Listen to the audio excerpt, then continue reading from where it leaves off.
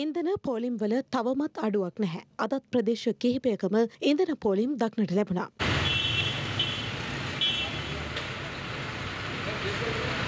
පොලිමේ ඉඳලා ඉඳලා දැන් එපා වෙලා තියෙන්නේ. දැන් පැය තුනක් විතර කරන පොලිමේ. කියන්න වදන් නැහැ කියලා තමයි කියන්න තියෙන්නේ මට මේ වෙලාවේ. අපි රස්තියාද ගහන එක තමයි වෙන්නේ හැමදාම. දසකෑම නවත්වන මේ හරියනවා දැන්. ආංචන මහත්තයාගේ මිල සූත්‍රෙත් නැහැ කිසිම දෙයක් නැහැ අපිට වන්දි ගෙවන්න වෙලා තින් මේ හැම දෙයකම අපිටත් වේදනයි ඉතින් වැඩක් නැහැ මේ රට අතහැරලා යන තමයි තියෙන්නේ. දුක තමයි අන්තිමට ඉතුරු වෙලා තියෙන්නේ. තෙල් ටික ආවේ නැහැනේ ආයි වෙලාවට.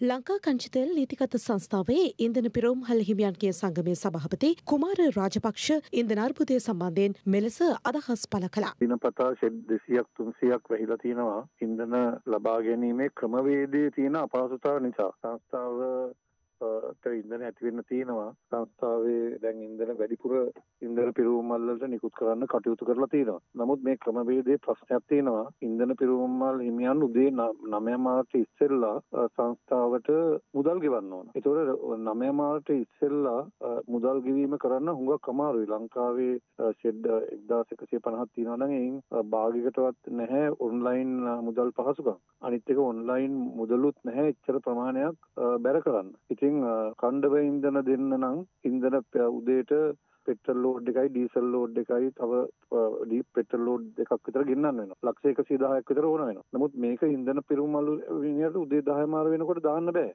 එතන ප්‍රායෝගික ප්‍රශ්න තියෙනවා. මේක ඉස්සෙල්ලා ඉන්ධන නිකුත් කරේ COD ක්‍රමය අනුව. එතකොට දැන් COD ක්‍රමය ඒක නවත්තලා අපිට මුදලට පමණයි ඉන්ධන ලබා දෙන්නේ. එතකොට අපිට මුදලට ගෙවනකොට ගෙවීමේ ප්‍රශ්න ඉන්ධන පිරුම් මල් හිමියන්ට හැමෝටම තියෙනවා. සංස්ථා සභාපතිතුමාගෙන් ඉල්ලුවා මේක අඩු ගානේ 10 මාසෙක් කොලා කරන්නත් කියලා.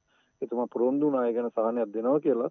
නමුත් ඒ සහනය ලැබිලා නැහැ අද වෙනකම්. මේ අතර පොළොන්නරුව දිස්ත්‍රික්කයේ ඉන්ධන හල්වලට දින ගණනාවකට පසු ඩීසල් ලැබී තිබුණා. ඒ අනුව QR ක්‍රමවේදය යටතේ ඉන්ධන ලබා දීම සිදු කෙරුණා. එල්ලන් දෙනවා කොහොම වෙයි දන්නේ නැහැ පත්තට. දැන් කුඹුර කපන්න කොයි කාලෙ විතර තියෙන්නේ? පාසල් ළමුන් ප්‍රවාහනය කරන පෞද්ගලික බස් රථ සහ වෑන් රථවලට ළංගම ඩිපෝව මගින් ඩීසල් ඉන්ධන නිකුත් නොකිරීම හමුවේ පාසල් ළමුන් ප්‍රවාහනය කිරීමට නොහැකි තත්ත්වයක් උද්ගත වී ඇති බව හැටන් ප්‍රදේශයේ රේදුරන්ද ප්‍රකාශ කර තිබෙනවා. අද දින විදුලි කප්පාදුව පැය දෙකයි විනාඩි 20ක් සිදු කිරීමට මහජන උපයෝගීතා කොමිසම ශ්‍රී ලංකා විදුලි බල මණ්ඩලයට අවසර ලබා දී තිබුණා.